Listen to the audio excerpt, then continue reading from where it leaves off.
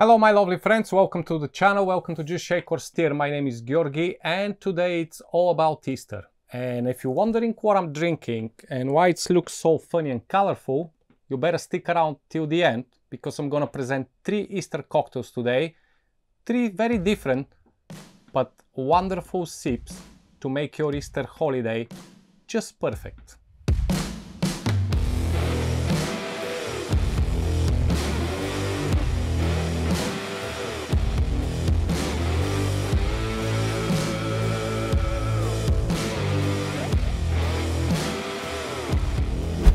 Sure most of you had the classic espresso martini and probably most of you had some kind of a variation on riff on the classic espresso martini. So today it's not gonna be a different. Today I'm gonna throw another version which is favorite of mine and this is the chocolate orange espresso martini. Uh, this is also, you can see it in different bars uh, served different way, but this is my recipe and I hope you enjoy it. Now, one of the products which I'm using today, it's not that widely available, so you can replace it easily with another product I will let you know. So let's see what we need as ingredients. So first of all, this is the product which I'm saying. This is the Bouvery CV premium chocolate liqueur made with premium vodka. Now, if you don't have this product available where you live, you can replace it with Mozart, dark chocolate or any chocolate liqueur available to you. It will do perfectly the job. Since I have it, and I love it, I will be using it, okay? Next one we have dark chocolate cacao. I have quite a lot of Bols here in the bottle, so I have to finish it before I replace it with my favorite Giffard. Then we're going with a cold brew coffee liqueur, and of course, who else but Mr. Black. And finally, to bring the orange flavor, I'm gonna use Grand Marnier. You can use Cointreau or any other orange liqueur. And finally, we have a freshly made espresso here inside in this lovely little jug. So if you're ready, let's build. So first of all, we're gonna start with the Bouvery CV vodka. And because this is a chocolate liqueur based on vodka, I'm gonna use a 45 ml. As you can see, it's a very thick liqueur, but it's fantastic. And if you can find it, you won't regret it, trust me. Okay, then we're gonna go with the liqueurs. Dark creme de cacao, 15 ml or a half an ounce.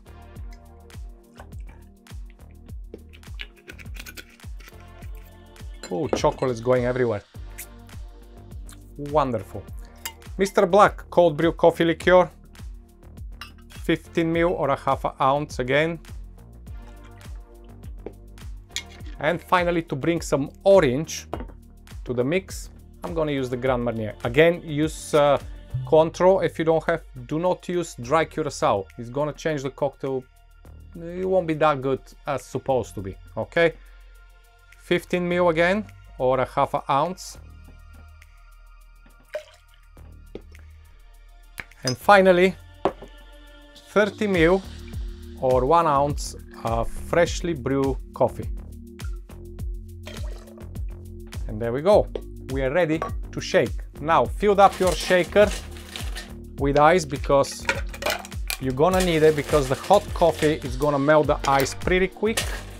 You wanna give it a good shake to make proper the froth, okay? Really good shake, really strong, 10 seconds.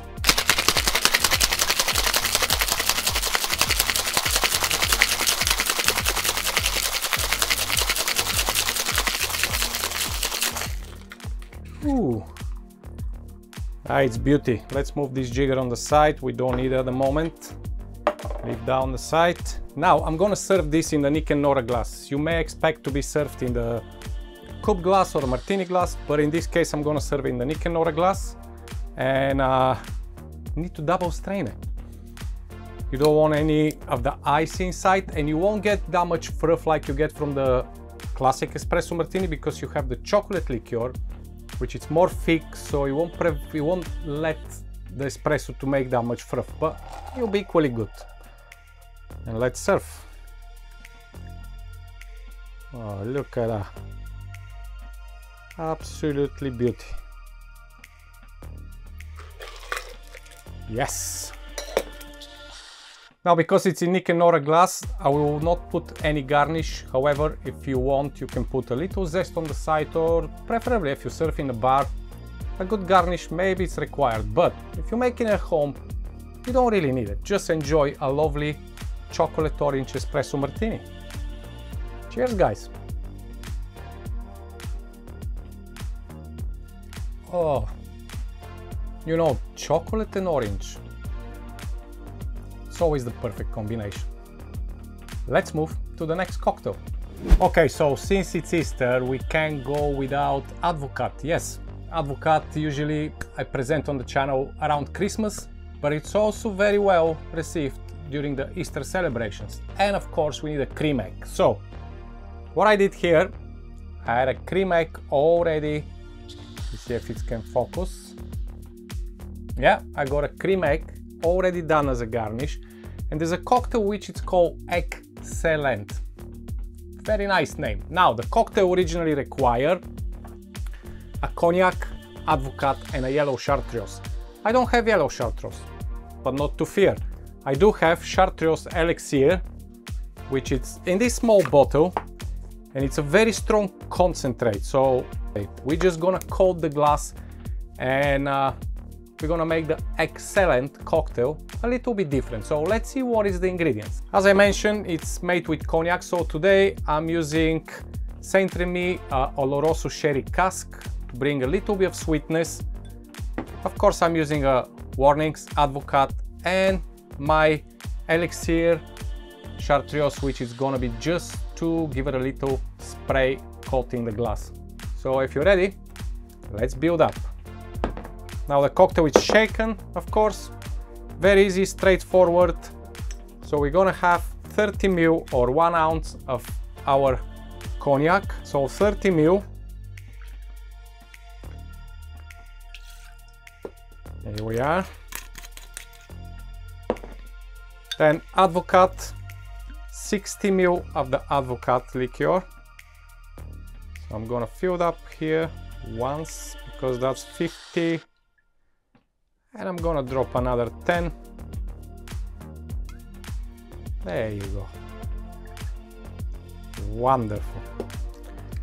As I mentioned, I'm just gonna coat the glass with my uh, chartreuse, so I'm gonna give it a good shake and serve. A fair amount of ice. And let's give it a good shake.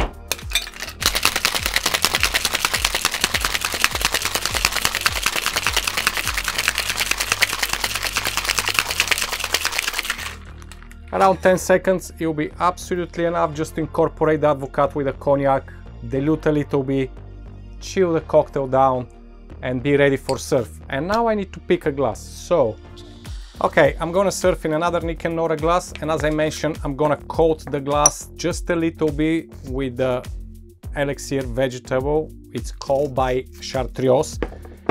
As they recommend usually to use maximum 5 ml in a cocktail but what we're gonna do here is just literally coat the glass just to give this lovely kind of a herbal notes to the cocktail. There you go. Double strain because we don't want any of the ice to go in.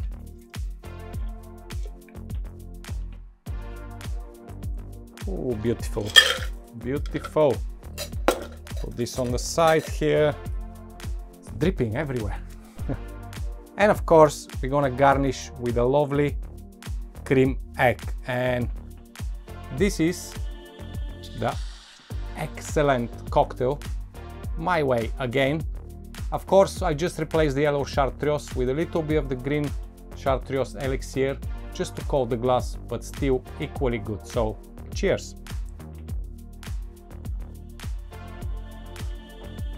Oh, you can never go wrong with cognac and advocaat, just never. And this lovely little herbal notes coming from the chartreuse, just fantastic.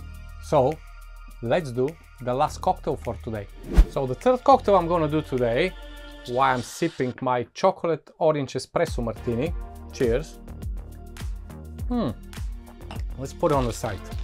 So this is a fun cocktail. It's for all of you who likes boozy, strong cocktails, with a little bit of character and a little bit of fun on an Easter evening, okay? So this is very easy. Again, it's a shaken cocktail, but before we do it, let me show you what is the ingredients, okay? So we have vodka. So any good vodka, I'm using Ketel One.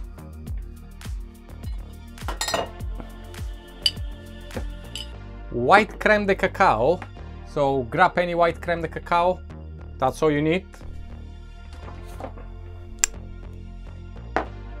Orange bitters and a box of Smarties. Yeah, box of Smarties. It's called Smartini. And uh, yeah, it's a basically a lovely classic vodka martini, but instead of the dry vermouth, we're replacing it here with a white cacao to bring a little bit of this chocolate flavor. Of course, we're gonna bring orange because orange and chocolate always go together. And for a little bit of fun and a lovely garnish, we're gonna use Smarties. So let's build.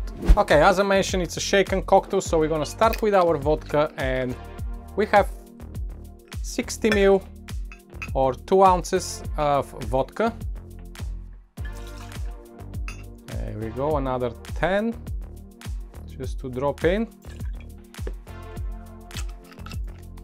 Then we have 30 ml or uh, 1 ounce of white cacao liqueur.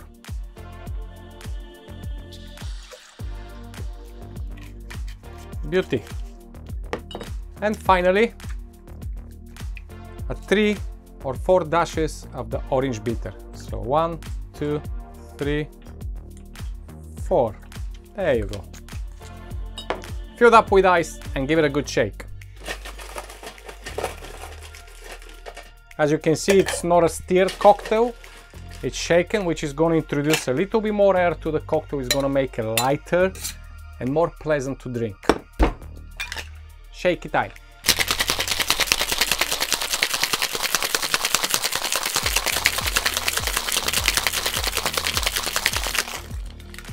That's enough.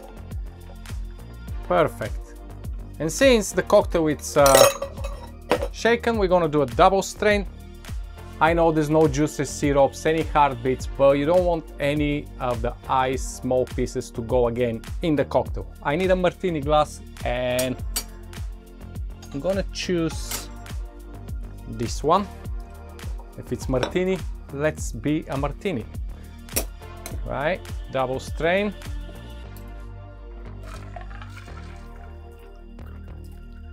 See how cloudy it is at the moment? That's because of the shaking. Obviously it's gonna clear. It's gonna be nice and clear cocktail. And for a garnish, Smarties. Now you may think how you're gonna put them in the cocktail. Well, simply, you're just gonna drop them inside in the glass. Simple as that. So let's get what, fair amount of different colors and just pop them in. Ah, a few more. There you go. And this, my lovely friends, is Smartini. Cheers.